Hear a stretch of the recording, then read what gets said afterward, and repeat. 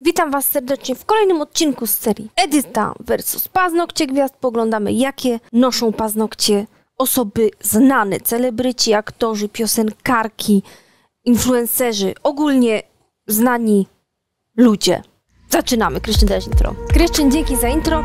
Zaczynamy od pierwszej osoby, którą wrzuciła do grupy na Facebooku Paznokcie Gwiazd, więc jak ktoś ma ochotę brać udział czynnie w tworzeniu tej serii, to możecie po prostu zrobić post, tak jak to zrobiła tutaj Basia i możecie wstawić zdjęcia, jakie znaleźliście e, pazurów gwiazd. Oczywiście wstawić linka do jakichś social mediów tej e, gwiazdy i dobrze też wstawić linki do zdjęć, ale jak nie macie, to, to też ujdzie, że tak powiem. Tak, i pierwszą gwiazdą, którą Basia wstawiła, MS Doncelitta. Doncelitta. I kto to jest? Influencerka, youtuberka, dobrze Basia, że napisałaś, właścicielka marki modowej Outspire oraz trener personalny. A, dobra. Dobra, kumam. No i widzimy, zobaczcie, jak przejrzymy Instagrama, co, to co jakiś czas te paznokcie, no, są eksponowane. Czyli mamy gwiazdę, która zwraca na to uwagę. O, super, cieszę się bardzo. Mamy tutaj zdjęcia, ale te chyba te same, to jest po prostu z tego, z Instagrama, więc ja sobie po prostu wbiję, bo widzimy, że tu fajne posty są. No, czasami e, wrzucacie osobne zdjęcia, bo gwiazdy nie eksponują tych pazurów, więc musicie szukać, screeny robić, coś tam, coś tam, a tutaj ta gwiazda eksponuje pazury, jakie nosi, więc super sobie poglądamy, bo tutaj, zobaczcie, tu mamy rol, yy, posta, kurde, piękne, Wrocław, wrocławskie pazy, bardzo ładna taka, ni to no bo można powiedzieć, że balerina, balerina z fajnymi zdobieniami, ciuteńkę przepiłowanym kciukiem, Ogólnie paznokcie są przepiękne. Troszkę tylko bym radziła stylistce mniej piłować tych krawędzi dolnych, bo mogą się trafić, yy, że tak powiem, reklamacje. Może to pierdziachnąć. Tu mamy linię... Nie jest linia, to jest po prostu pas. Yy, tu mamy linię wzrostu pazura. I no i tak troszeczkę brakuje, prawda? Troszeczkę brakuje tutaj tej krawędzi dolnej. Polecam trochę obniżyć, mniej piłować od spodu i będą też trwalsze te paznokcie. Bardzo fajny design, delikatne, długi, długie, dość długie, tak bym powiedziała średnio długie. Yy, dalej lecimy. I tu mam świąteczne, przepiękne, ten sam kształt. Yy, trochę za grube, wolne brzegi. Takie kulfonki trochę. Można piłować więcej od spodu, ale zdobienia są śliczne. Cały, cały ogólnie design wygląda świetnie. Ale jak sobie przybliżymy...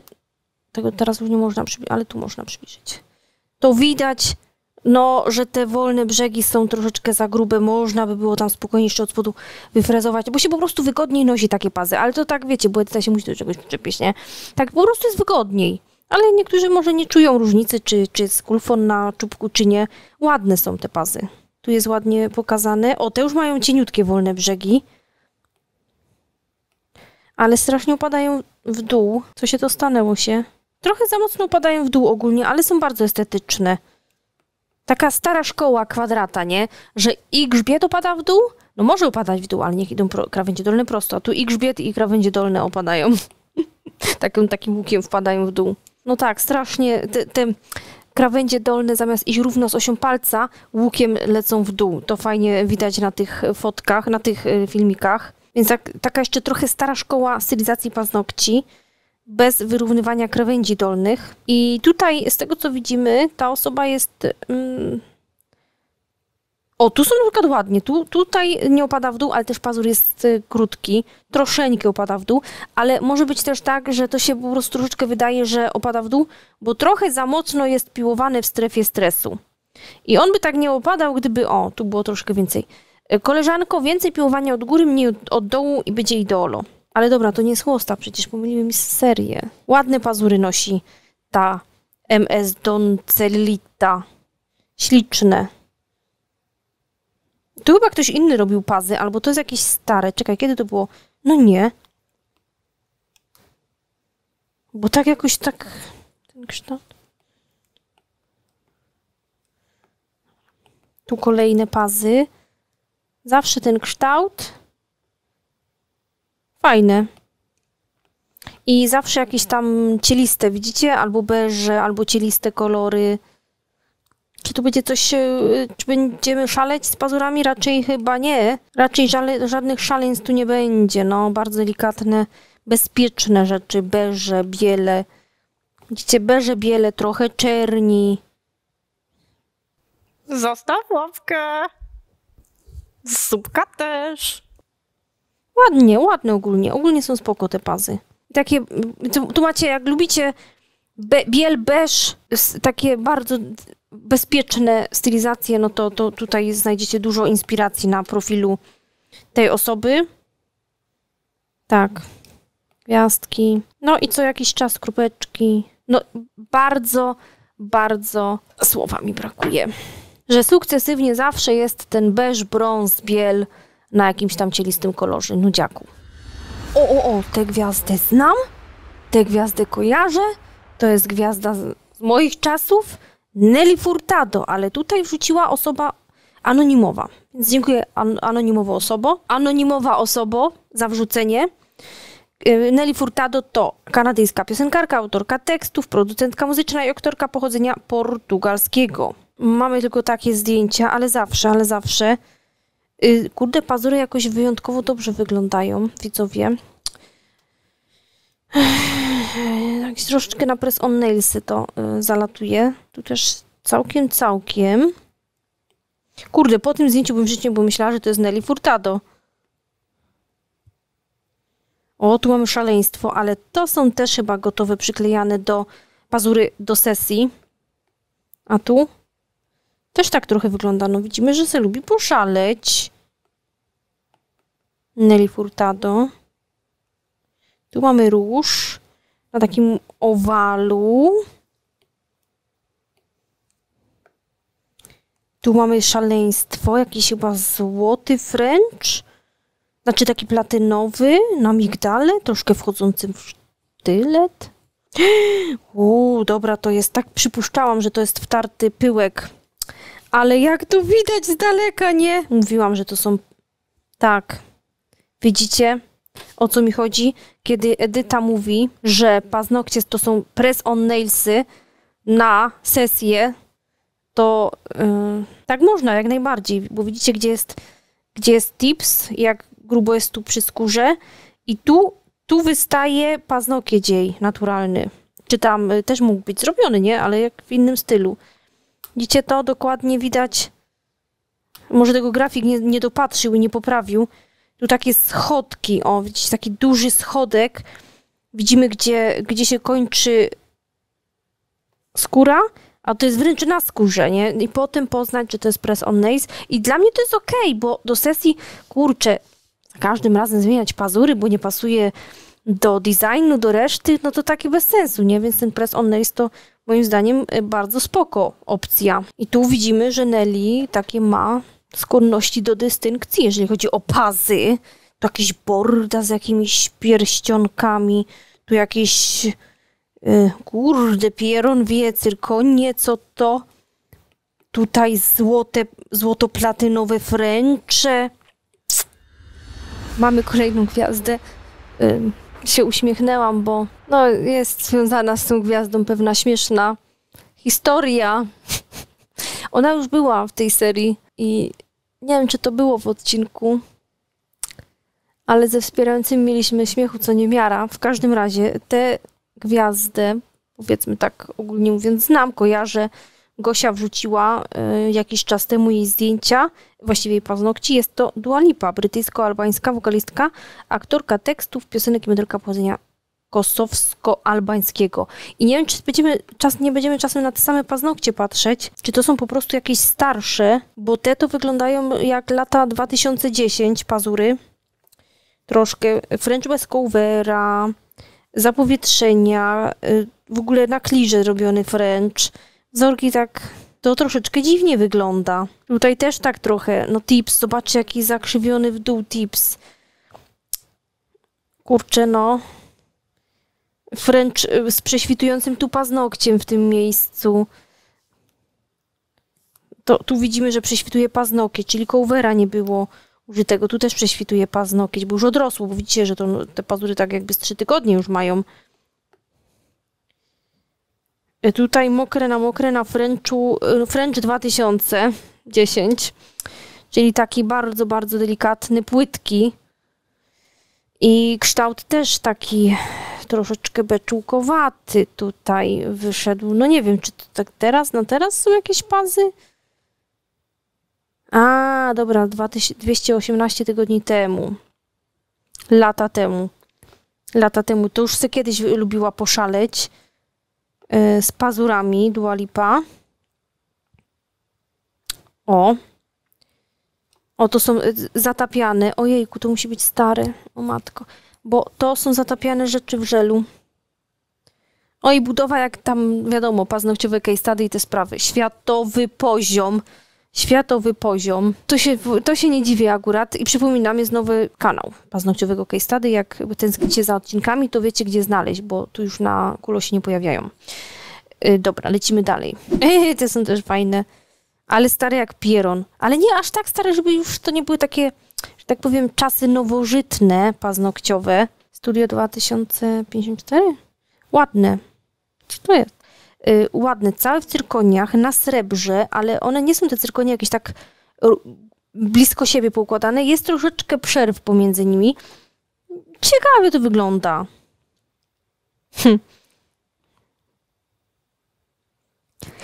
No, takie pazury ja robiłam 15 lat temu. Okej. Okay. No to już takie chyba jedne z nowszych. Spoko nawet były, te też są całkiem spoko, tylko troszeczkę mają wyrośnięte krawędzie dolne. No, różnie tutaj jest z tymi pazurami. I coś się czasem świeci, i coś śmiesznego się zna znajdzie. I coś takiego ciekawego. No, lubi się poszaleć czasem Dualipa z pazurami. Zobaczymy, czy są eksponowane. Tu są chyba coś tam jest, jakieś tam są pazy, ale naturalne, tak jakby wzmocnione czymś, bo tak widać, że są troszkę grubsze niż naturalne, więc coś może na nich być, ale tak trochę wygląda jak naturalny wolny brzeg. No, no dobra, no tu jakoś szaleć nie szaleje. Tu jakieś zwykłe czerwone kwadraty. Jakoś mega szalonych rzeczy na tych pazurach tu nie ma. Bardziej na wreszcie stylizacji się dzieje szaleństwo, chociaż tu mamy jakiś chyba pyłek nawet wtarty. Tu mamy zwykłego migdała, no ale zanim dotrzemy do tego momentu, to filmik. Chyba, że wejdziemy na y, Instagrama, bo y, tutaj Gosia znalazła też stylistkę paznokci. Gwiazd. No, stylistka taka poziom paznokciowego case study i to powinno wam już powiedzieć wszystko. Lećmy do kolejnej gwiazdy, Amelia Webb, znana zawodowo jako Mimi Webb. Gosia, no nie wiem, ja nie znam, nie wiem, czy ty znałaś wcześniej tę gwiazdę, ale ja nie wiem. A lubi się zaszaleć z pazurami. Pastele w różnych wersjach, czy to jakieś yy, mazy, czy to fręcze z kwiatkami, czy to jakieś serduszka z wisienkami, to jakiś fręcz nie wiem dlaczego, z jakiego roku to są zdjęcia, ale to wszystko wygląda jak, jak, jak no taki poziom, może ciuteńkę lepszy reprezentowałam ja sobą w roku 2012, jak otworzyłam salon. Więc y, kurczę, mamy rok 2024 teraz, jak nagrywam. To było, nie wiem, może z parę lat temu albo teraz. To to nie jest jakieś takie przepaść. Więc no dziwi mnie trochę. Lubi się zaszaleć też y, ta osoba. Stylistka malować niekoniecznie potrafi dobrze, bo już po śnieżynkach było widać, ale za to tam y, umie w naklejki, co też nie każdy potrafi. To nie jest takie proste, jak się wydaje. Wierzcie mi, coś o tym wiem. Coś o tym mój palec wie. Dobra, o szaleństwo, tu jakieś ogniki, tu jakiś wtarty pyłek platynowy, tutaj French yy, połyskujące, ale już widzę te krawędzie. Jezus Maria. To jest takie typowe rżnięcie ze skosa pazura, nie. To jest takie typowe zło tutaj od boku, patrząc. Tu, tu widać te ściany, którą tu widzicie. O, dobra, na tym, na podstawie tego zdjęcia to ładnie tu będę mogła rozrysować. Te ściany, o, tu te ściany, którą tu widać z boku, dobra, ja ją teraz umniejszyłam jej, już na niebiesko. tu jest ściana, to to powinno być schowane w, w dół. Bo teraz jest, mamy takie coś, patrząc od frontu. Płytkę naturalną, nie? Mamy takie coś, że ta ściana jest tu widoczna. Od boku. A ona musi być od spodu, czyli pazur ma być taki. To ma być od spodu tam, a nie z boku. Więc jak od, od spodu popatrzysz, to, to od tej perspektywy ta grubość ma być widoczna, a nie od boku. No nic, no typowe, typowy światowy poziom pazurów. Kolejnej gwiazdy tak średnio kojarzę, kolejną gwiazdę, kolejnej gwiazdy nie znam. Jest to Jess Hilariu, Hil, jak to przeczytać? Hila, Hilarious, Hilarious, nie znam. Amerykańska aktorka telewizyjna, komik i osobowość internetowa. Może z twarzy będę znała. Nope. Za nic.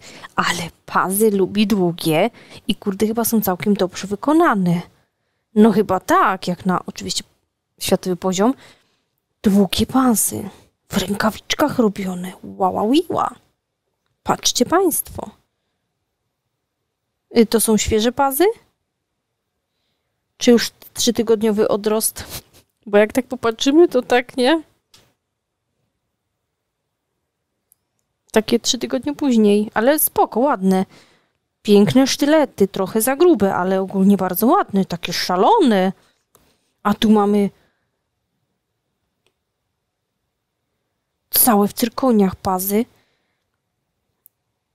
Ciężko się wypowiedzieć na temat budowy, bo to po pierwsze jest z odrostem, a po drugie no całe w cyrkoniach, no to ciężko powiedzieć. Ciężko stwierdzić, chyba też git. Tutaj tylko po prostu troszeczkę za grube, nic więcej.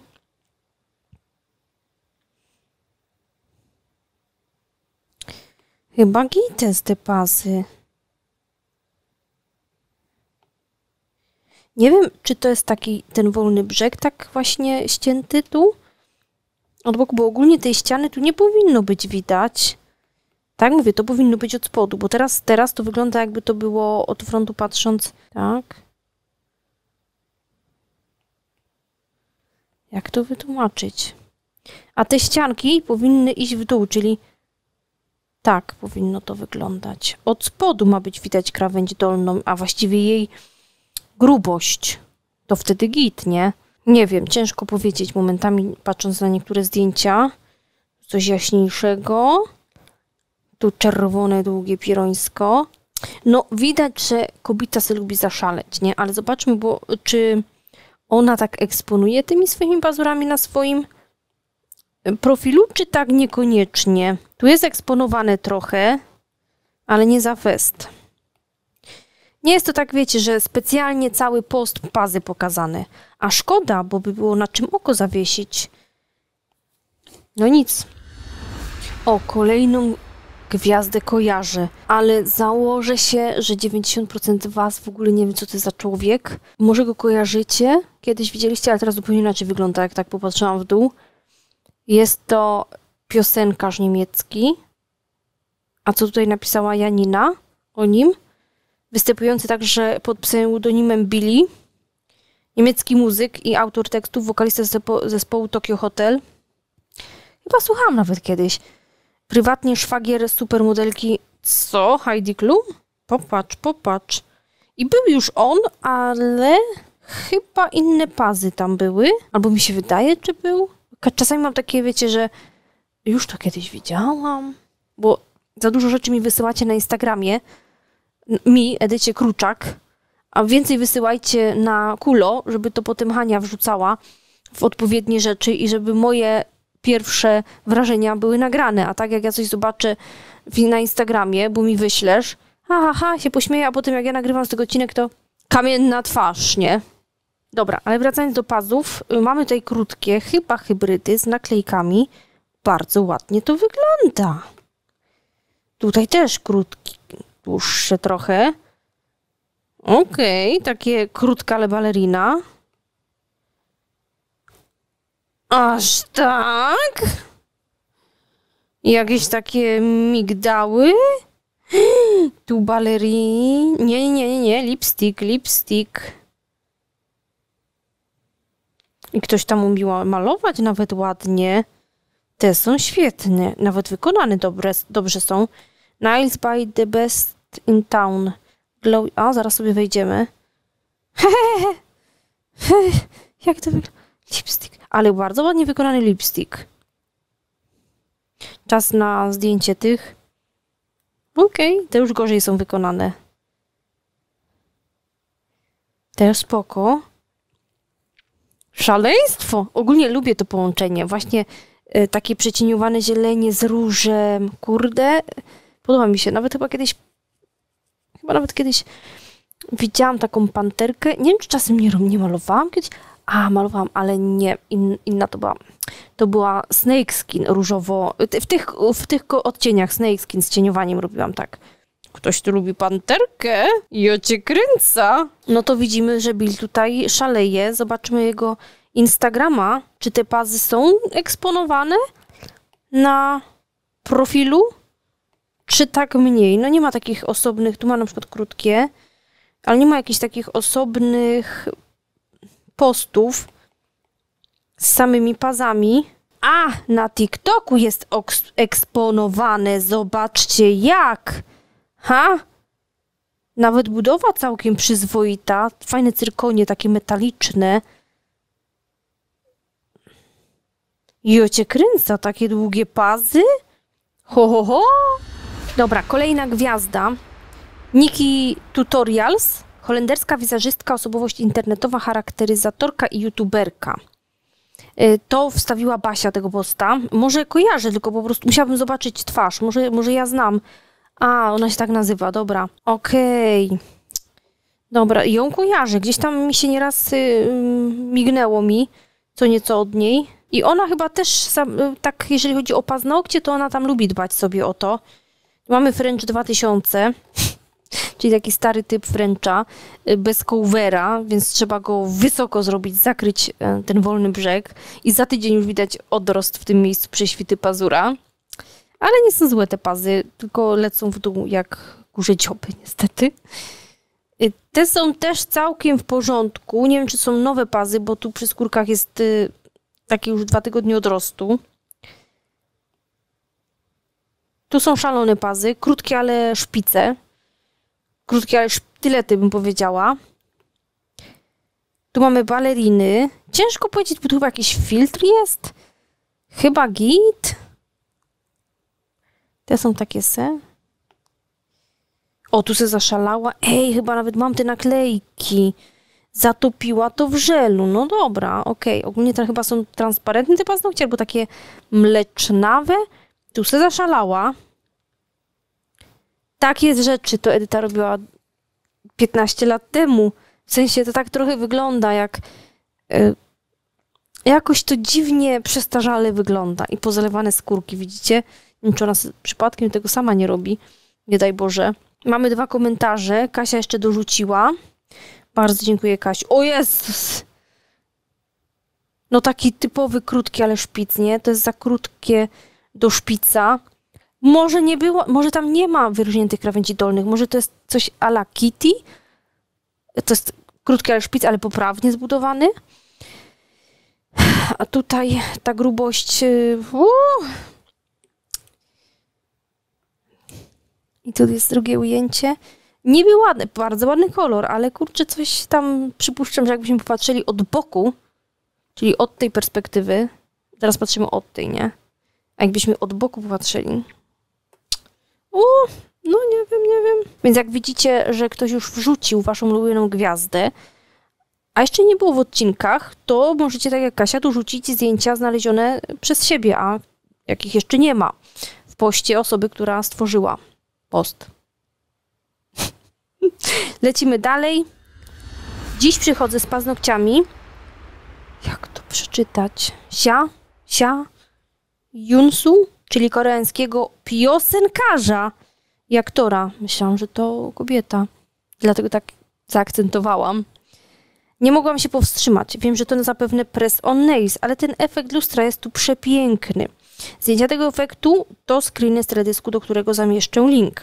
Ogólnie ten pan, gdyby był młodszy, lubował, gdy był młodszy, lubował się w malowaniu paznokci, bo twierdzi, że dbanie o nie, że dbanie o nie, że dbanie o nie nie definiuje płci ani orientacji, co ja osobiście popieram. Ja też. Drugie zdjęcie to z tego, co w wywiadzie mówił jego naturalne paznokcie pomalowane, ale niestety ten wywiad był tak dawno temu, że teraz go nie odnajdę. Link do teledysku, gdzie wypatrzyłam to piękne lustro na paznokciach. Tak to zazwyczaj, y, bo chodzi o to, żeby zrobić właśnie takie lustro trwale musimy nałożyć top. A jeżeli na to byśmy nałożyli nawet na te paznokcie top, to jest efekt. y, Włóżcie sobie coś metalowego, takiego połyskliwego do wody. Jest takie matowe się dzieje, y, robi.